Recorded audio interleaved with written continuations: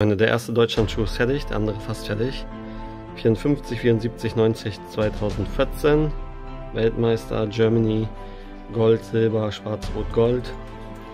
Der erste ist äh, fertig, dreimal versiegelt.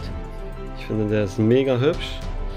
Ich weiß nicht, warum ich so lange bei den Schuhen brauche. Ich muss so oft korrigieren, weil irgendwo welche Spitzer sind. Vielleicht behalte ich ihn auch selber, vielleicht wird er auch zum Verkauf eingestellt. Und der zweite ist auch auf dem Weg.